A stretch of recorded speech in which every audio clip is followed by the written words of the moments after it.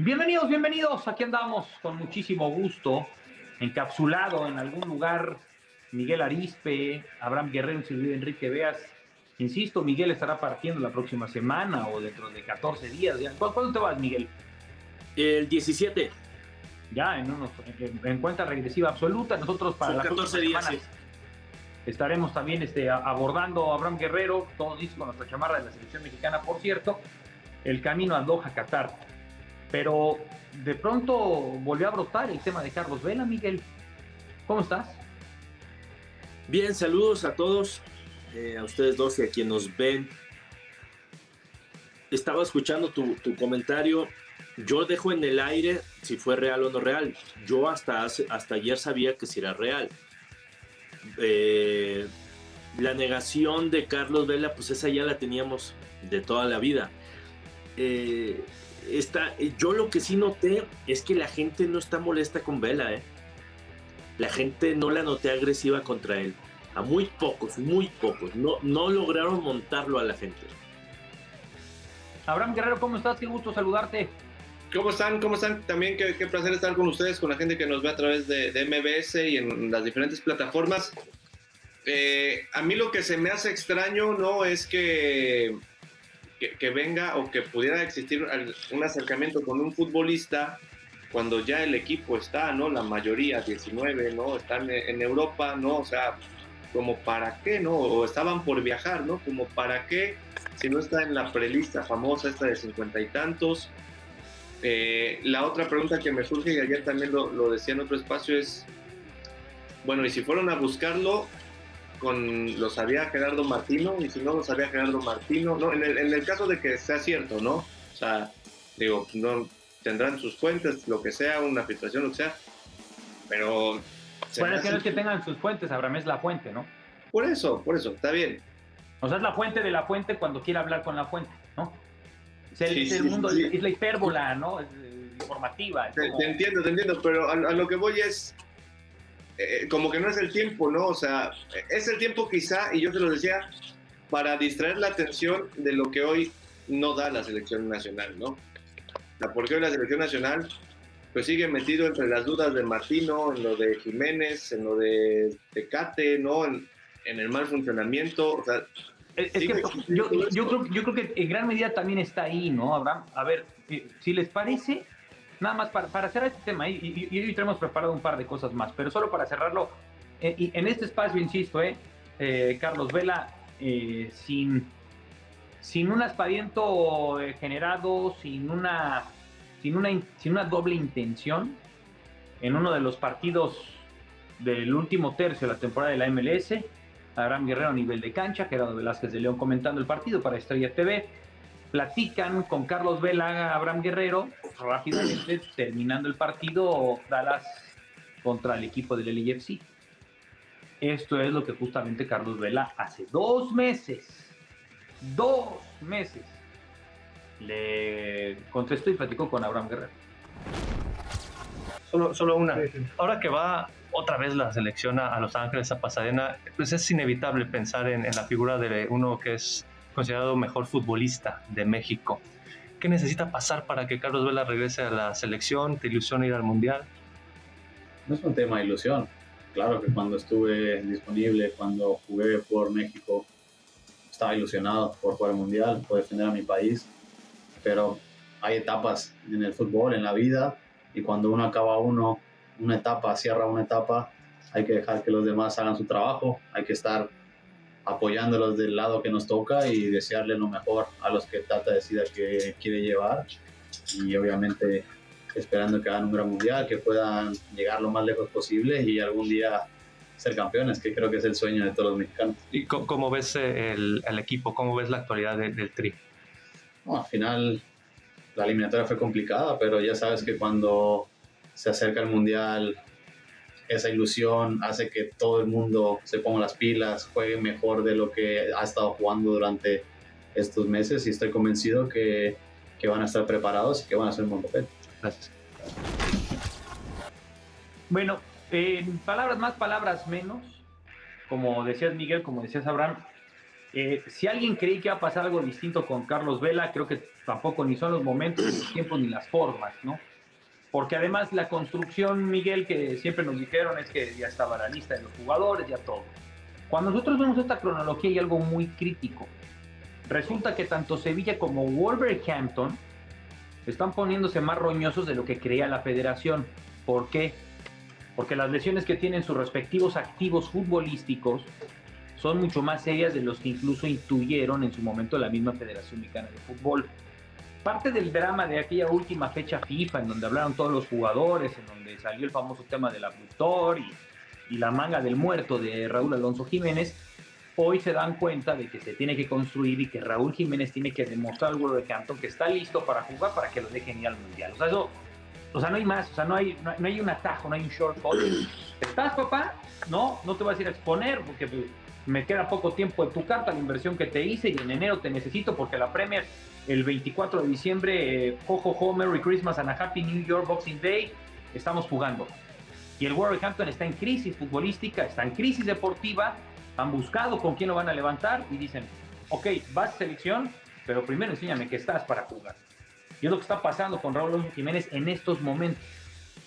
Y en el caso de, del Tecatito Corona, vino el cambio de técnico, el Sevilla estaba de capa caída y termina levantando y buscará de nueva cuenta el título de la copa que mejor se le, va al equipo del Sevilla, que es la UEFA Europa Y para eso, claro que está muy considerado Jesús Manuel Corona.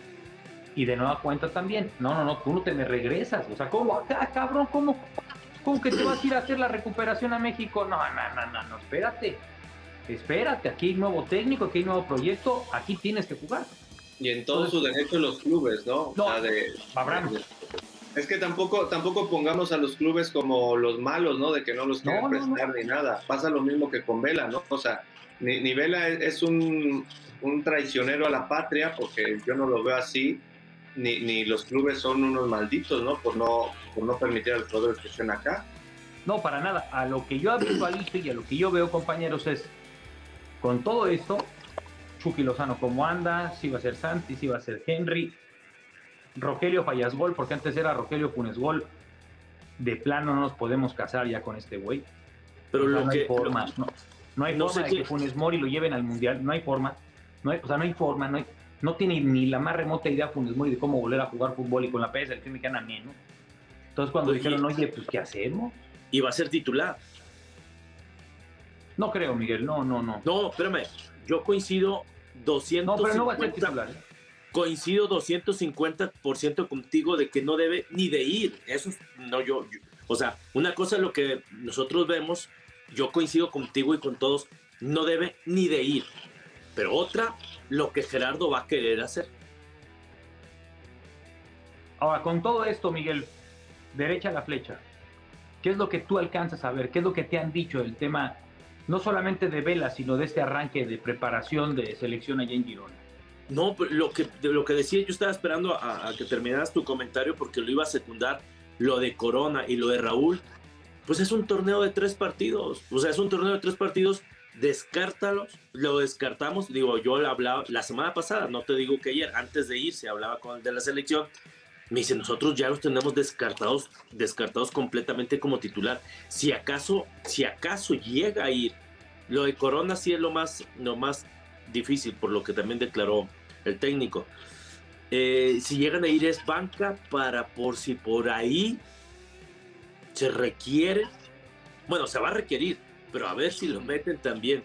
Eh, pinta, pinta, pues lo que hemos dicho en los últimos meses y meses, meses el peor Miguel, Miguel banca por si se requiere, pero viniendo de una de lesiones largas, pues son lesiones largas, ¿no? O sea, no, no, no, no, no pueden ser considerados, ¿no? Como, como elementos que te van a, que te van a cambiar o que, que, te van a abonar a, un problema que tengas en la cancha, ¿no? Abraham, pero eso, eso lo vemos y coincidimos aquí los tres y yo pienso que muchos coincidimos en eso. Pero Gerardo ve, el técnico ve otra cosa, no Gerardo Velázquez, no, Gerardo Martino, ve otra cosa. El tema lo vimos ahorita, veas, el tema de Funes Mori. Nos queda clarísimo que si lo que busca es gol, no entendemos por qué lo busca en él. y como quiera lo lleva y como quiera lo va a meter. Ahora, Abraham, de todas maneras, aquí lo que está curioso es por qué agarrarse de este tema, ¿no? O sea, ¿qué, qué lectura le das tú? ¿De vela? Sí. Pues porque encuentras un, a, a un enemigo público, intentas, ¿no? Revivir a, a, un enemigo público. Sí, Miguel. Intentas, pero no lo consiguieron. Yo no noto que la gente se le haya ido a vela encima. No, bueno, lo porque, que pasa es que las últimas campañas de, de, claro, este tipo ¿no? de comunicación no, y además, eh, y además Vela ha sido muy claro, ¿no? En, en, el asunto, ¿no? O sea, claro. ya desde hace tiempo dijo, no, pues yo no, ya lo vimos otra vez, ¿no? Que esta entrevista que, que lo pudimos hacer. Entonces, tratar de hacer quedar mal a alguien que desde que ha puesto su postura muy clara, ¿no? Y que sin ofender a nadie, ¿no? Incluso diciendo, yo les deseo éxito, pero pues yo hasta aquí, ¿no? Yo ya no voy, ¿no? Entonces, tratar de hacer quedar mal a alguien así como que no, o sea, duró quizá unas horas, pero pues no, no, no, no iba por ahí. ¿Y qué, ¿Y qué, hubiera pasado si se les hubiera dicho que sí? No, pues se sube y, y, ya no va el Piojo Alvarado, Miguel. No, no pero va hubiera pasado. No pasa nada, ¿no? Pero si no estaba en la hubiera lista. pasado, yo me lo preguntaba hoy en la mañana, ¿qué hubiera pasado si Vela les hubiera dicho que sí? Y como lo veíamos en la materia de lógica en la preparatoria, sí, solo sí, va Javier. Ah, ese ya es otro panorama. A ver, esa es otra pregunta, Miguel. ¿Por qué no agarraron a Javier para el tema? Porque saben que ahí sí. Rueda, ¿no? revienta, güey. O sea, efecto boomerang, cabrón. Órale, Ay, no, ahí, ahí sí. Porque... Ahora, ahora los vamos a tener que llevar. Porque con Carlos era, Carlos era decir, no, pues yo ya ni, lo que pasó, no, yo ya no quiero, yo ya no hablo del tema, punto, ¿no? Y un tipo muy tranquilo. Pero agarran a Javier Hernández, el Chicharito, para esto y se arma, o sea, en verdad se, se arma una grande. Sí, porque a Javier les hubiera dicho que sí. No, y la, ahí la gente, ahí la gente, ahí sí hubiera sido todo que sí, ¿no? Es que sabes que Miguel, si, mira, ahora ya, ya dejemos lo que más o menos sabemos, ya, ya está expuesto nuestro punto sí. de vista y además la información, ¿no? Yo nada más para cerrar eso, para cerrar eso y de lo que decía Miguel, en el supuesto de que Carlos les hubiera dicho que sí, y yo le agrego a esa teoría o esa, o esa posibilidad el hecho de si quien lo fue a buscar no tenía la venia de Gerardo Martino y les hubiera dicho que sí, o sea, imagínate, ay, ya te conseguía, mira Carlos aquí, y Martino llega y le dice, no, no, yo, yo no te que, quiero. Yo no que en ese sentido sabemos, sabemos quién es, ¿no? El que supuestamente en todas las entrevistas que han dado van de la mano y están felices, ¿no? ¿No? Como la canción de Quiero caminar de tu mano, hacerme muy viejito contigo, ¿no? Tata y Jaime Reales, ¿no? Caminan de la mano, ¿no? es lo que nos han hecho creer, o esa es la postura que nos dijeron. Cosa que no es así. Cosa que no es así.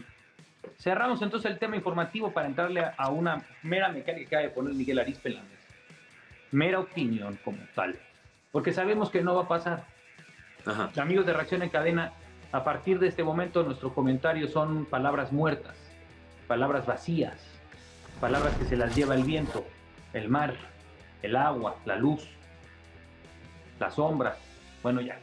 Te soleaste mucho, ¿qué? El día de hoy. Javier Hernández y Carlos Vela claro que tuvieron que haber sido tomados en cuenta mil veces más por el contexto actual de la selección nacional. De haber tenido a Tecatito Corona, de haber tenido a Raúl Jiménez, que incluso sería un debate forzado, soso y listo, ¿no? Cerramos filas, tan tan se acabó. Pero una selección en donde también tu otra opción es Rogelio Funes Mori, que no pudo volverse a conectar, que no pudo recuperarse, que no pudo volver a encender, depende solamente de Henry y de lo que ha aprendido últimamente Santi Jiménez en la incipiente y apenas en la curva de aprendizaje de la Eredivisie. Tan tan, that's it, se acabó. Entonces Chucky Lozano es Alexis Vega y cómo anden estos dos güeyes. Así, así el panorama de selección nacional. La lógica de un equipo trabajado en donde realmente operan los mejores elementos de experiencia, de fortaleza, de fútbol, claro que desde hace cuatro o cinco meses se tuvo que haber construido el regreso de Carlos Vela y Javier el Chicharito Hernández. Pero para eso no era un acercamiento ahí, socito ahí, un corto con Carlos Vela, para eso se tuvo que haber echado a andar la infraestructura, del fútbol mexicano, a los dueños del fútbol mexicano, a la alta dirección del fútbol mexicano, para que realmente se pudieran recuperar estos dos activos que durante tres años y medio agarraban un palo de escoba, agarraban una piñata y algunos le pegaban de ladito, otros incluso,